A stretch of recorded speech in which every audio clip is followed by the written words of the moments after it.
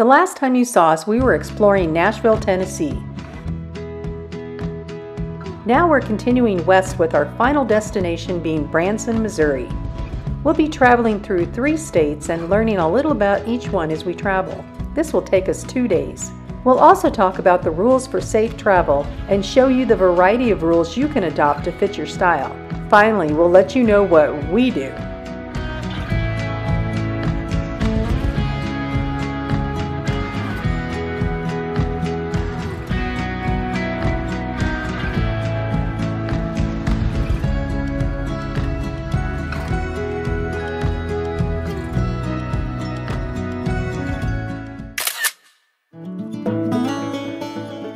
Kentucky, the bluegrass state, is known for horse racing, quilts, and distilling.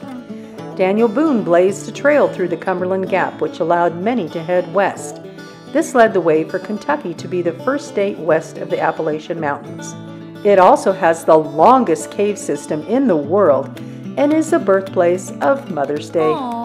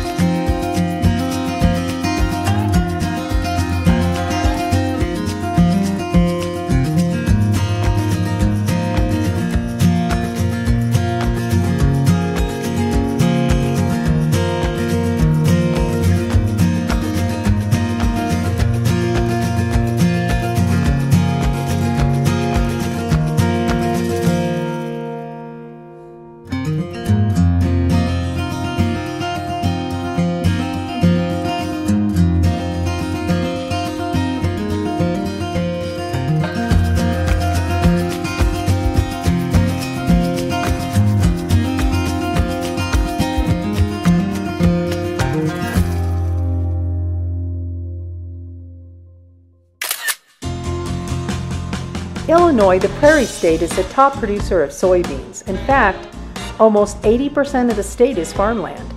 But when people think of Illinois, they think of Chicago. That's probably why some fellow RVers introduced themselves as being from Illinois and then added, not Chicago. The 16th U.S. president spent his formative years here, and it's the birthplace of McDonald's and Twinkies.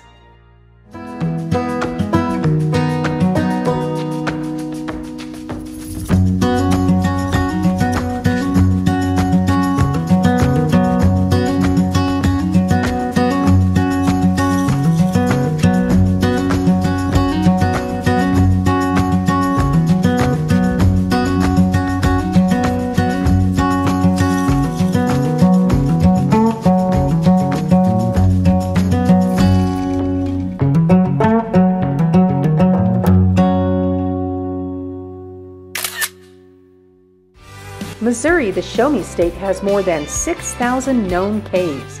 It played a significant role starting the Pony Express and is home to the world's tallest arch, symbolizing a gateway to Western expansion.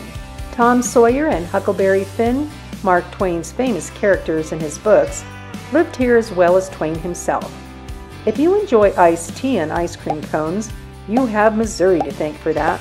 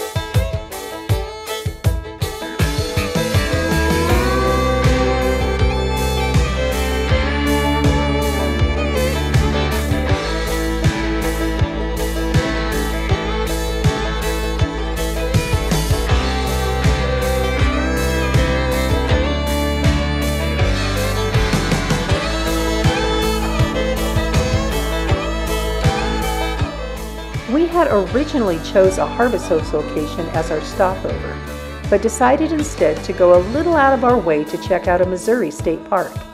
We made our reservation online, went to the park, and found our spot. It was that simple. They knew we were coming and indicated on our spot that it was reserved. If we hadn't already had reservations in Branson, we would have stayed a little longer. The park was practically empty and very serene. Sam A. Baker State Park is located in the Ozark Mountains. There are actually four regions and it extends into the northern part of Arkansas. We'll be traveling across three of these regions. A few months ago, we embarked on what we thought would be a 7,000 mile trip to chase 70 degrees. When planning, we knew it would be different than anything we had ever done.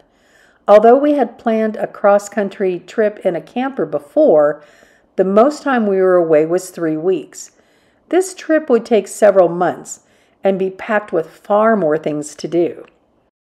I was much more aware of safety on the road and invested in a few things that would help us be as safe as possible. But I knew the thing that would help us the most was not to overplan a travel day. I didn't want to underestimate what goes into traveling a day in an RV. Here are a few rules that RVers consider when planning a travel day.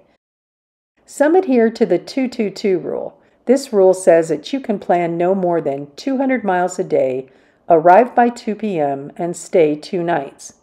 Another common rule is the 333 rule. This stands for 300 miles per day, arrive by 3 p.m., and stay three nights. Some people, particularly young working folks with limited vacation time, travel with the ASAP rule arrive as soon as possible. They drive straight through, stopping with periodic breaks, possibly with multiple drivers. The fun begins at the destination. For us, well, the driving is part of the experience. We're not fond of traffic and wind, but we love our drives. It wasn't always this way, but we're adopting a new state of mind. We've also become much more aware that bad things happen when we're tired and impatient. We were keenly aware that the time of arrival on our GPS would need to be adjusted for our slower speed. Getting from place to place is much more taxing than driving your car to the next destination. Although breaking camp for our rig isn't too complicated compared to others, it does take time and attention to make sure everything is checked and secure. We adopted the rule of no more than 300 miles a day, Many of our days were far less than that and involved planned stops along the way. We also made sure we had adequate time to set up camp when we arrived, never driving or arriving in the dark. We were usually there between 2 to 4 o'clock. This gave us plenty of time to settle in and be refreshed for the next day. How long we stayed depended on the things we wanted to see. Some stops were only three nights, but most were five. This gave us enough time to see a lot. Seven nights would have given us more time to rest, but we weren't traveling full time and home was calling. In fact, we'll be having that conversation when we get home. How long will we travel the next time we go out on a long trip like this before having a break?